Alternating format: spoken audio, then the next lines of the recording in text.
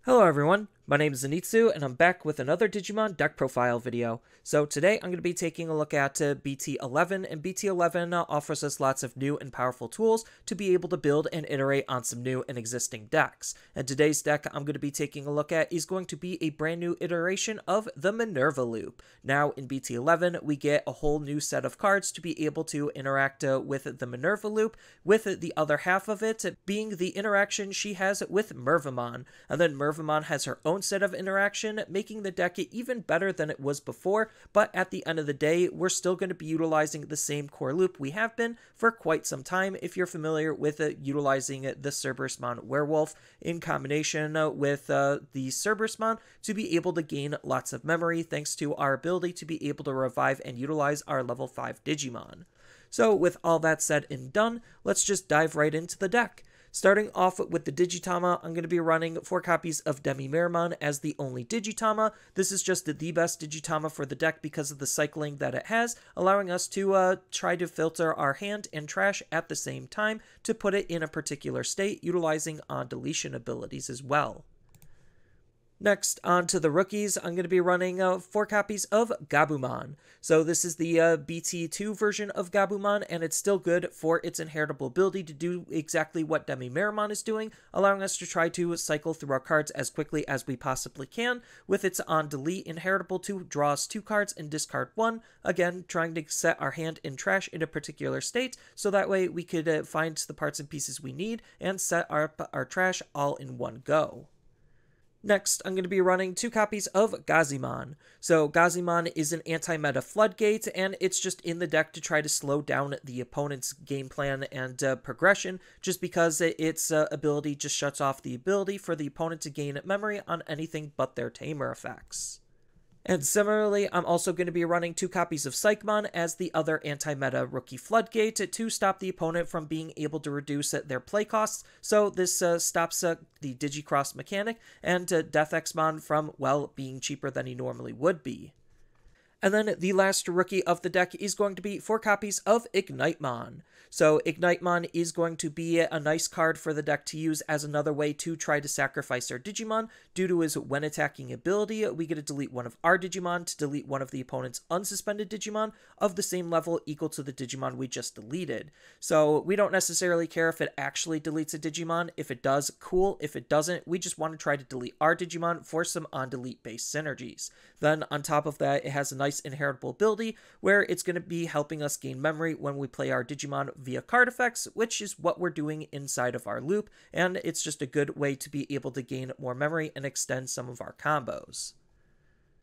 Next, on to the champions, I'm going to be running two copies of Ginkakumon Promote. So Ginkakumon Promote is in the deck to try to be as aggressive as we can because he natively has the rush ability. The alternative ways that we have to be able to utilize the card only add to uh, his overall usability, so whether we're digivolving him on top of a level 3, on top of a level 4, or just bringing him back out of our grave, it doesn't necessarily matter. It's just all different ways to be able to gain access to this rush ability to be as aggressive with as we possibly can. Next, I'm going to be running four copies of Eismon Scatter Mode. So Eismon Scatter Mode is just one of the best cards to help try to dig and filter through our deck as best as we possibly can because of his on-delete ability doing exactly what we want paired up with Demi Meramon and Gabumon to try to draw cards and discard cards at all at the same time, filtering through our deck uh, so that way we try to find the parts and pieces we need and putting cards into our trash selectively getting our trash to be what it needs to be as well.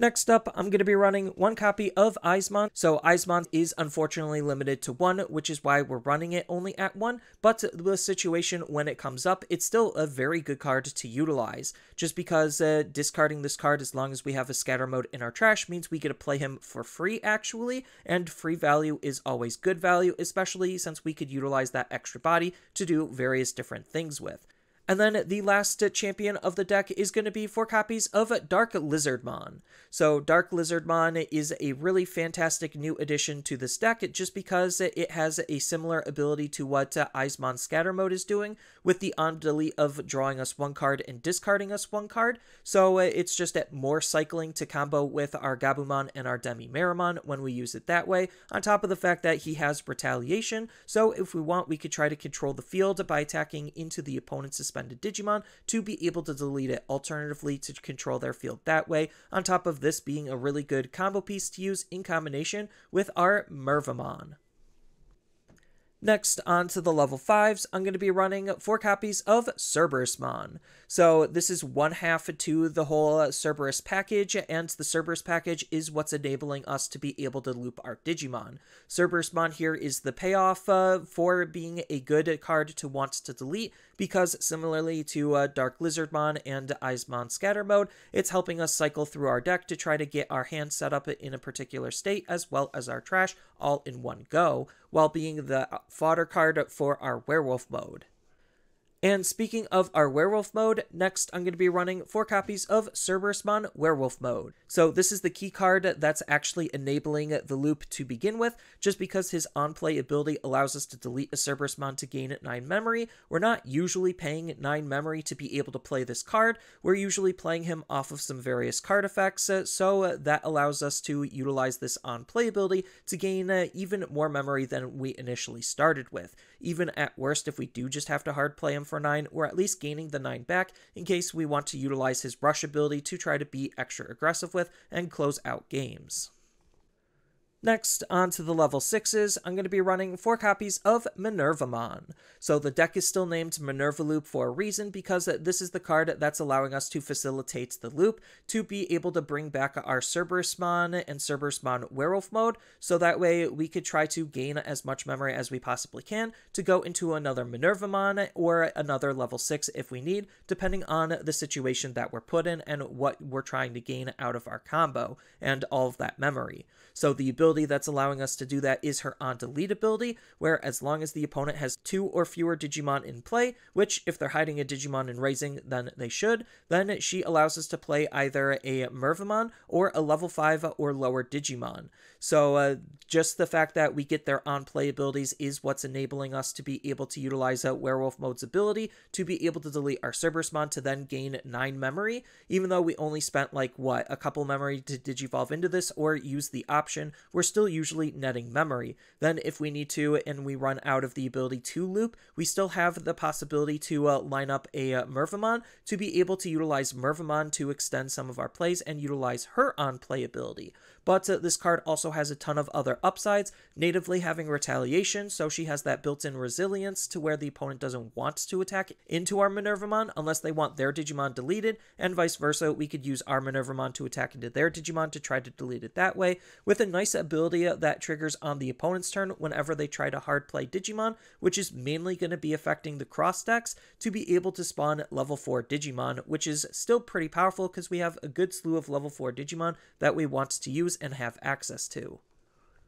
And then the last level 6 of the deck is going to be uh, three copies of Mervamon. So Mervamon is just the other card we're trying to revive off of Mervamon. She has her own pros and cons on how we could utilize the card, it's just because she does have a Digicross ability with cross-hearted traded Digimon in our trash, which is pretty decent, and we're going to be utilizing that with Ignitemon if we ever do, just because that allows us to utilize Ignitemon's inheritable ability with this card, because she's also going to be uh, allowing us to be able to uh, bring back Digimon from our trash with her on-play and when Digivolving ability. So uh, we get to bring back a level 4 or lower purple Digimon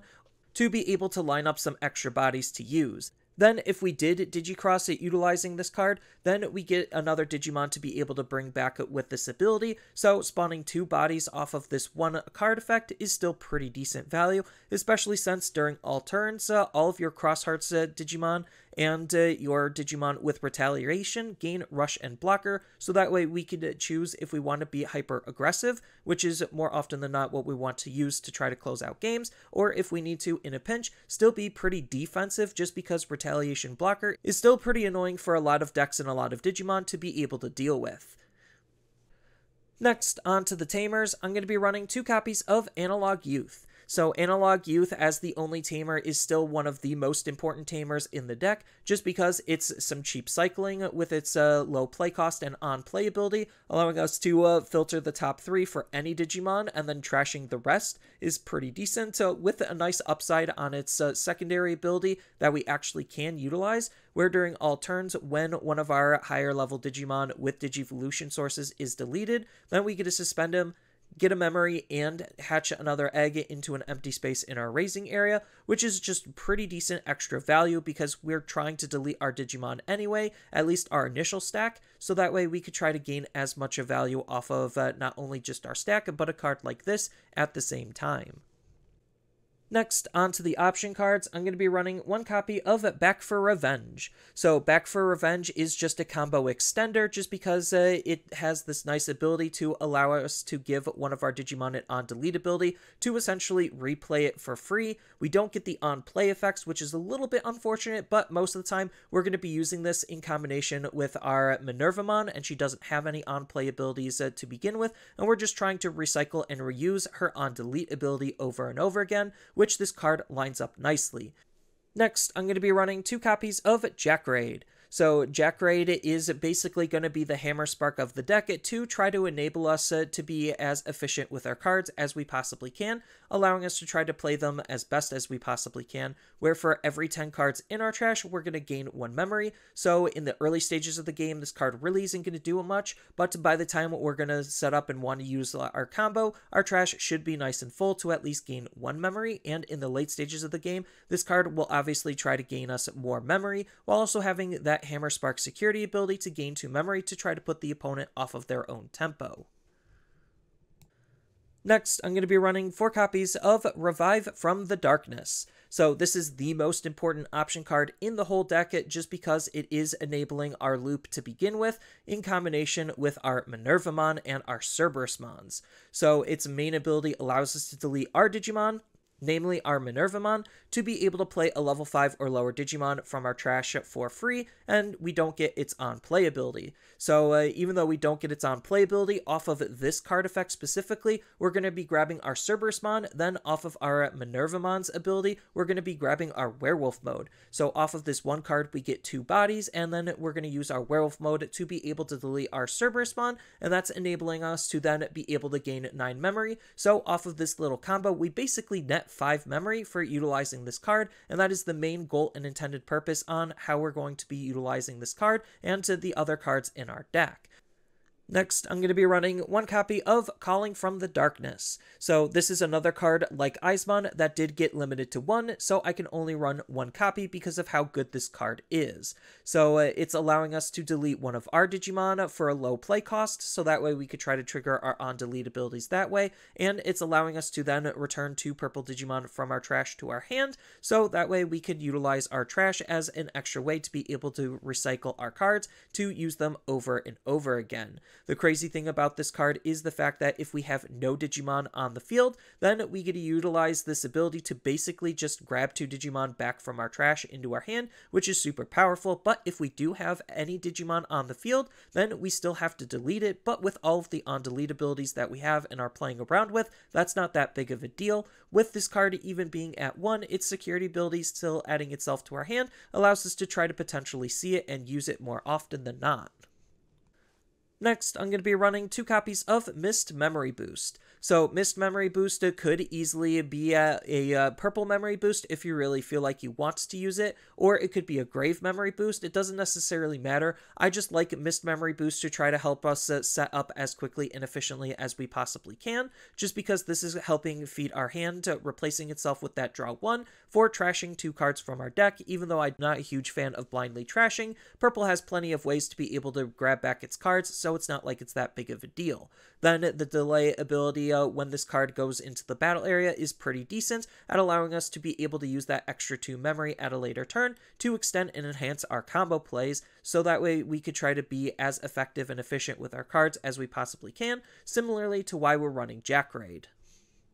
And then the last option card of the deck is going to be uh, one copy of Deathclaw as just another card to try to delete our own Digimon, while rewarding us for doing that with some good removal towards the opponent's Digimon.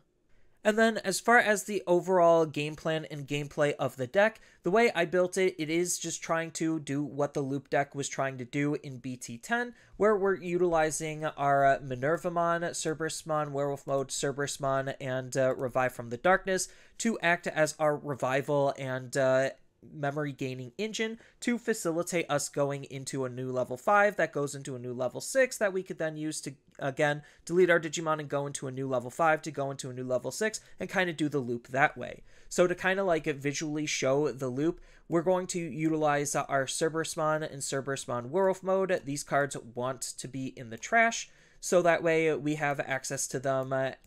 for our revival type abilities. So it doesn't necessarily matter what one we have it to use uh, Digivolving into our Minervamon, we just want our Minervamon on our field. So we're then, let's just say we're at zero memory, going to use it Revive from the Darkness, give the opponent four memory, delete our Minervamon. Our Minervamon's ability will allow us uh, to bring back Cerberusmon Werewolf mode, and our uh, Revive from the Darkness will be able to bring back Cerberusmon. From this type of a position, we're going to use uh, Cerberusmon Werewolf modes uh, on playability to delete our Cerberusmon. We're going to do all of the draws and discards uh, required, and that's going to gain us 9 memory, so that's going to uh, net us essentially 5 memory. Then uh, from here, we're going to uh, Digivolve into a new Minervamon, and then we could delete the Minervamon with another Revive from the Darkness to uh, go into the combo again to be able to delete this grab these two back, and then gain 9 memory. So with that amount of memory, we could do a lot of things from this type of position. So uh, a card like uh, Back for Revenge just allows us to bring back the Minervamon, so that way when we delete it, we're going to have the extra Minervamon on our field, which is why it's a pretty good extender, and we have cards to help us delete our own cards, uh, so that way we could try to trigger their on-delete abilities, like Ignitemon, uh, Calling from the Darkness, and Deathclaw. Then the cards to reward us for doing this is going to be our Analog Youth, and Analog Youth is actually pretty good when we do end the combo with our uh, Minervamon, just because when we delete our uh, Minervamon to go into our Mervamon, our Mervamon is going to uh, bring back a level 4 or lower Digimon, uh, so we're going to want to try to bring back our Dark Lizardmon, so that way we could gain uh, the Rush ability and be able to aggress with this card. Then if we used uh, Ignitemon with our uh, Minervamon, we're going to be gaining a memory when we Digicross it, when we play it for free off of our Minervamon, so there's just more memory generation that way, and when we Digicross it with our Ignitemon, then we also get to spawn another body with it, so that way we could either spawn another Dark Lizardmon, or maybe something like a Ginkakumon to promote, just because uh, they're going to gain the rush ability, so that way we could try to be as aggressive with them as we possibly can. And that's why, again, our Minervamon is also pretty decent just because uh, our uh, Minervamon will be able to gain uh, the blocker and rush ability off of our Mervamon as well. So you can kind of see there's just a lot of intricate plays once you start getting the loop going and you're able to do it. But as far as just some other general lines of play to be able to try to help us set up the best that we possibly can, that's kind of where a lot of our low level cycling is going to be coming from. So that way we could try to uh, use our combo stack of Gabumon, Demi-Meramon to be able to do lots of different things with. So if we go into our Dark Lizardmon, then we're going to be uh, drawing four, discarding three, which is pretty decent amount of uh, cycling uh, already. But the card we want to utilize uh, more often than not is going to be our Eismon Scatter Mode. So that way we could uh, draw seven and discard four with this type of stack so that way it could try to help us set us up while deal damage and chip at the opponent as we possibly can. And uh, that's why a card like Eismon is really good, just because uh, during all of this we could just get a free Eismon, and that just sets us up to be able to then Digivolve into a Cerberusmon, to be able to set us up or just have a Cerberusmon on the field, to be able to do whatever we need to with, whether it's cycling or try to extend or enhance our combo plays. Then if we do also bring our Eismon out off of any of our abilities, we could also just Digivolve it for 1 into a Ginkakumon Promote and basically just pay 1 for the ability to rush at the opponent. And uh, while we are setting up uh, and trying to uh, dig through our cards, which is also why a card like uh, Mist Memory Boost and Analog Youth are so important for that early turn setup,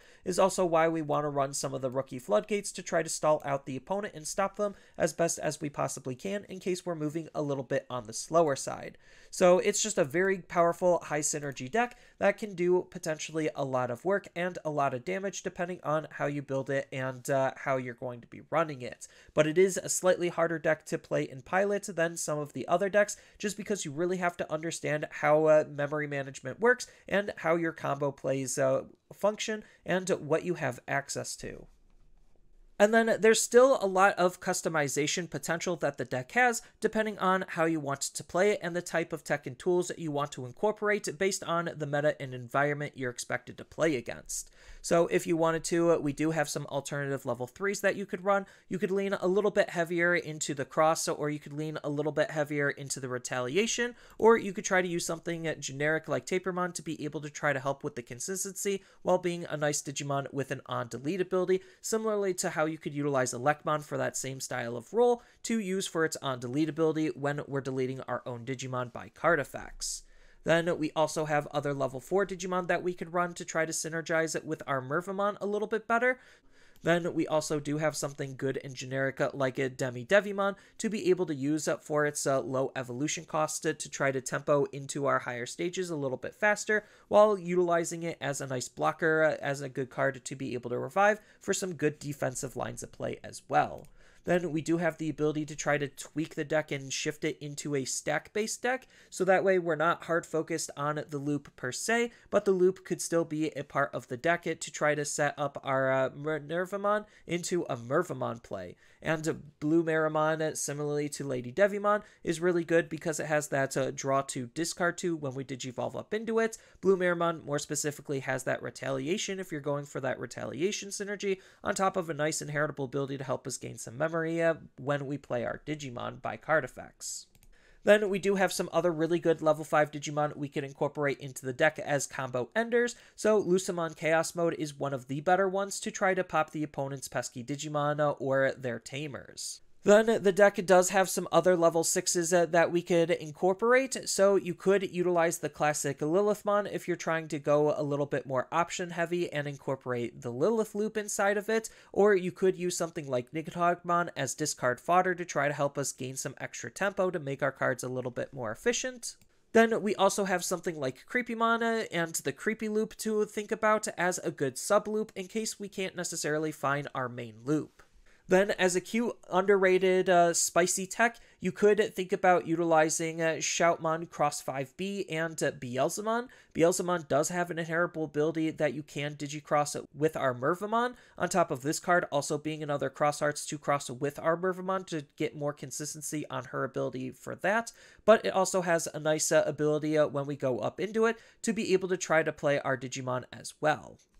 Then we do have a couple of level 7s that we could think about incorporating into the deck. DeathXmon is a pretty good highlight just because the deck does want the opponent to have low amounts of Digimon in play to be able to utilize our Minervamon's abilities to the utmost potential, so DeathXmon is a good de-incentivization tool. And then if you want to try to go for a more classic loop style of deck, we also do have uh, Omnimon Zwart as a good card to try to help facilitate the looping.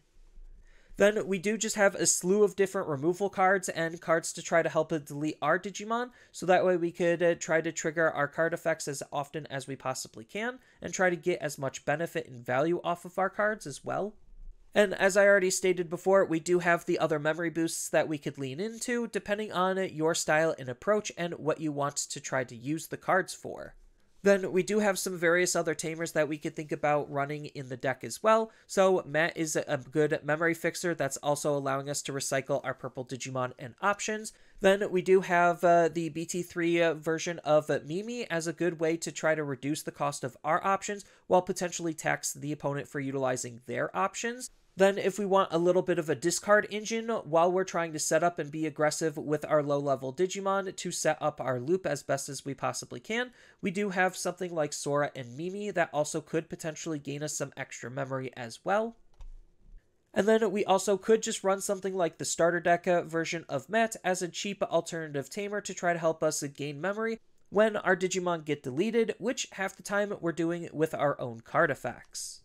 So that's all I really have for this video. As always, feel free to tell me your thoughts down in the comments below, and down in the description below are a couple of different ways you could support me and the channel. So I do have a, a TCG Player affiliate link, so when you use that link to buy cards off of TCG Player, then some of that money will go to supporting me and the channel. I also do make and sell playmats over on Overcard Gamers uh, on Facebook, so when you buy a, a playmat with my design, then some of that money will also go to help supporting me and the channel. And on top of all of that, I do have a Twitch account over on twitch.tv slash Xanitsu, so giving me a follow and a subscription also helps support me there, and I do play Digimon on top of various other games on that platform as well. So thank you everyone for watching, and uh, as always, uh, don't forget to, like, uh, share, and subscribe for more content, and I'll see you in the next video.